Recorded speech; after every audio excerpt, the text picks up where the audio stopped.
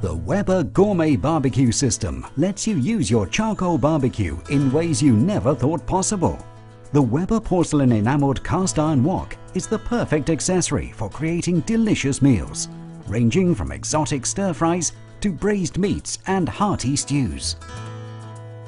For a steak stir fry, set up the barbecue for the grilling method. This is when you cook food directly over the hot coals and is best used for meats that require high heat for a short period of time, like traditional wok cooking.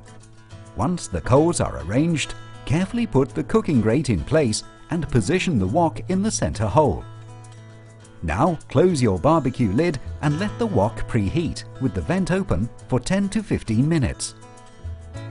For a sizzling steak and veggie stir fry, start by lightly coating the steak and vegetables with olive oil to keep them from sticking you should never pour oil directly into a hot wok.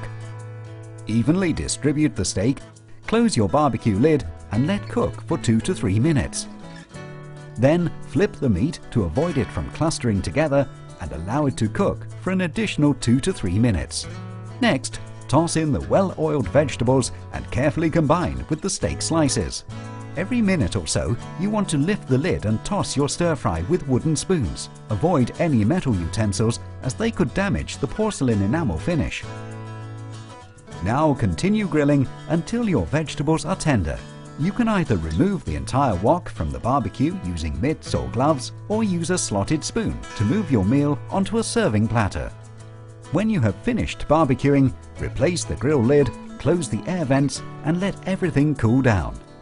To keep your wok in top condition, once the wok has cooled completely, you should wash it with soapy water and a non-abrasive pad. Rinse it with clean water and then dry it with a soft towel. Safely store your wok inside your home, not in your barbecue. And bring it out anytime culinary inspiration strikes.